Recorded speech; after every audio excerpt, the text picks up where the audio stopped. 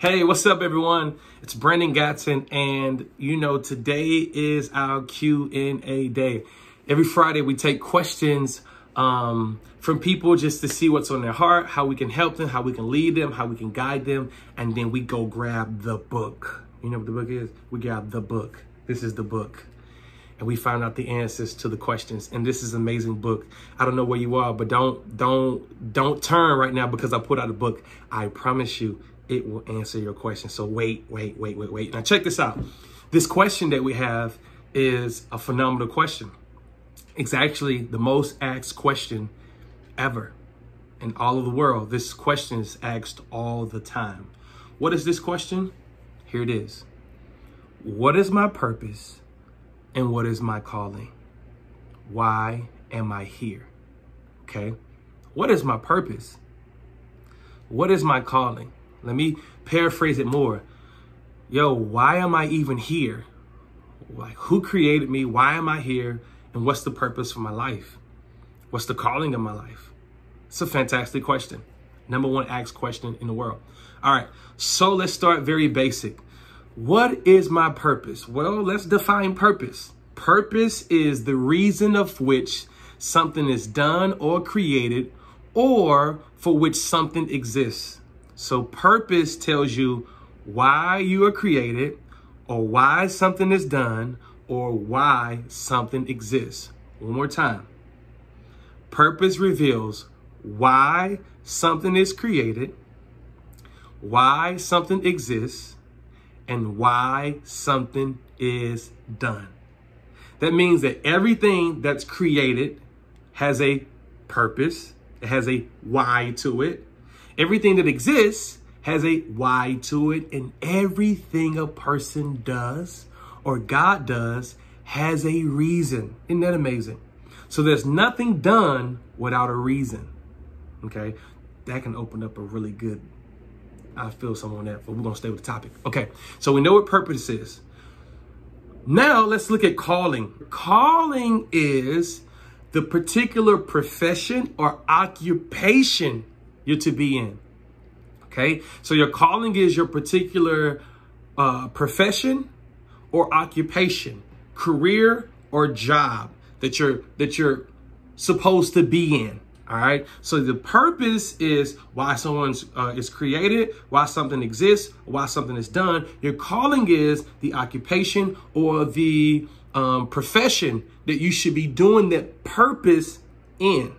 So now you got a difference between purpose and calling. Existence, creation, why something is done, location, occupation, and profession. Okay, so you find out this and you do this in these things. All right, so we're together so far. So now we have purpose and calling. All right, now we got to go to the book Genesis 1 26. Here's what it says then God said, Let us make man in our image, according to our likeness, and let them have dominion over the fish of the sea, the birds of the air, the cattle, over all the earth, and every creeping thing that creeps upon the earth. Okay? So God made man in his likeness, in his image, for him to have dominion. Now, watch this. In order to have purpose, which is a reason for something is created or exists or for it to do something, you have to make this thing a specific way in order for it to accomplish its, pers- its purpose. It has to be wired a certain way. It has to be built a certain way. It has to be built with the ability to fulfill its purpose. So when God made man, he made man in his image in his likeness so that man can fulfill his purpose. Now, what is image? You know what image is. We'll go with a very basic definition. Image is the ability to reflect something. When you're looking at the image of something, you're looking at what something looks like. It just deals with, with, with the visual aspect of something. Man, I'm looking in the mirror. I'm looking at my image. I'm looking at um, this, this radio and I could play it and you cannot see it and it can still be going. But once I raise it up, you now are able to see its image, right? You see what it looks like. So God created us for his image. So when people see us, they see what he looks like. Now, the other one is likeness. Likeness is a little different, not really, but likeness is the demonstration of what something is like. So if I said, hey, I went over to South Africa, you could look at the image of South Africa on the map, but you still don't know what it's like until you go there. So although you could have image, you still want to have likeness. A lot of people are born again. They're born again into the image of God, but you can't look at them and see what God is like yet. They're still not producing likeness. Side nugget, side thought. Think about it. All right. Now, another verse tells us why we are created. So this verse deals with purpose. Isaiah 43 and 7. What does it say? It says, everyone who is called by my name, who I have created for my glory. I have formed him. Yes, I have made him. This verse is everything because it's telling you why you are created. And what's the definition of uh, purpose? The reason why something is created. And so it says that you are created for God's glory. Now, we don't even have to really go into the word glory, but I just think you want to because we only six minutes in. I think we clock out at 10. So here's what glory means.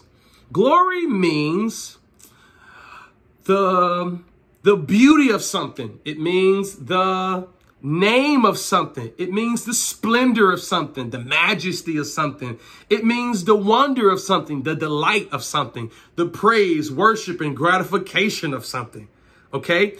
So when the Bible says that you're created for God's glory, it means that you're called to be the revealing of his beauty, of his worship, of his praise, of his splendor, of his majesty.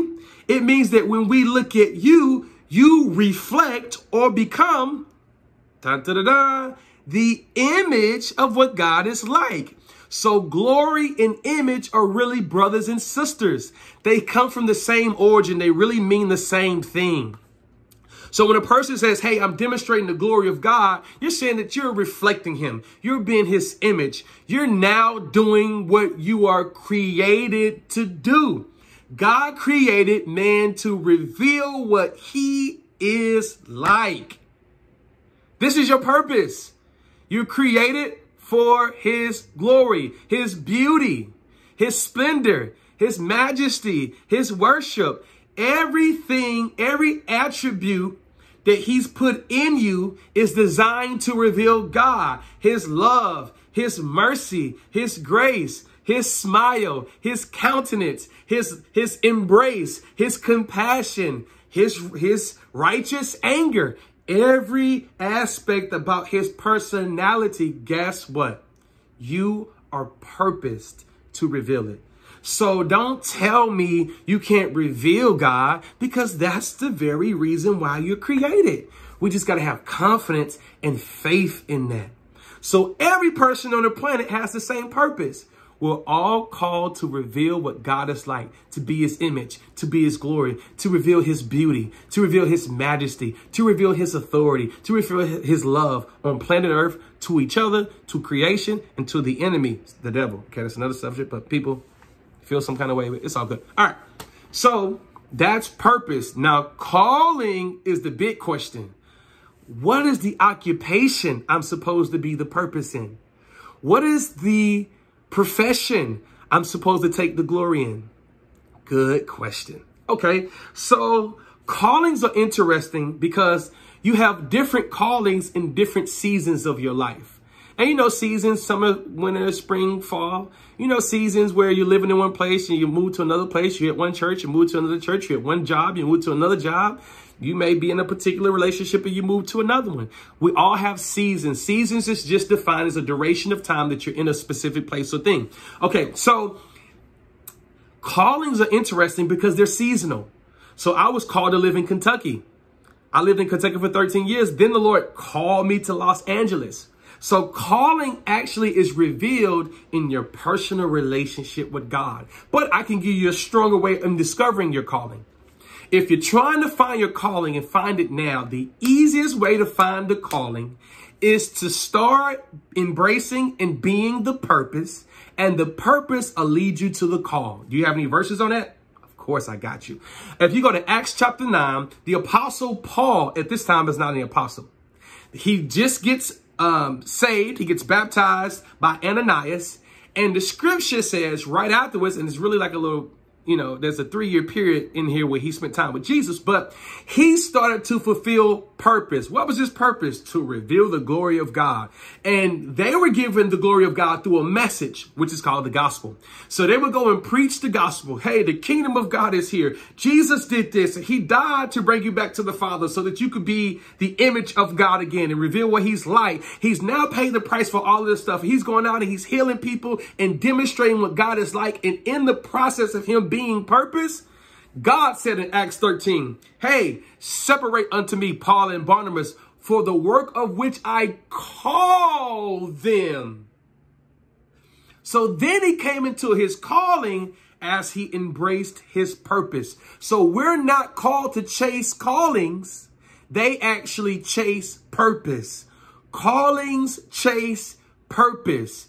Just go be, and as you're being, God will lead you where you need to be. So if you're working at McDonald's, if you're working in church, don't worry about trying to figure out the next place. Just be the image there, reveal the purpose there, and God will say, separate me, uh, Brandon and Sarah and whoever you are. He'll say, separate me, that person for the work of which I call. Callings of fine Jew. David didn't have to seek no call. Elijah didn't have to seek a call. Jesus didn't have to seek a call. Paul didn't have to seek a call. No one sought callings. Callings sought them. When you're in purpose, callings of fine Jew. So this is how you discover your purpose and your calling. I hope this helped. I'm pumped right now. So wherever you are, embrace purpose first. Hey, this is who I am. This is why he made me. Isaiah 43 and 7. I'm created for his glory, for his image. So every day I'm going to go out. I'm going to look to manifest God's mercy, God's grace, God's love. I'm going to touch people. I'm going to put clothes in the back of my trunk on purpose so I can give it away from homeless people. I'm going to have cash in my ashtray just set for homeless people. Why? Because I want to reflect what God is like. I'm going to make sure that when people do me wrong and talk against me and all these things, I'm overtime. I got to go though. I, I, I, I make sure I, I, resemble the love of God and the mercy of God. And I'm just looking just to love people everywhere I go. And then me doing that, God will start to speak and callings will seek me out and God will navigate me to where I need to be in life. So good. So good. If this is so good, you better share it because that's what the image of God would do. Yo, I love you. Thank you. Can't wait to answer more of your questions. I'll see you later and go be the purpose so that the calling can hunt you down. Peace.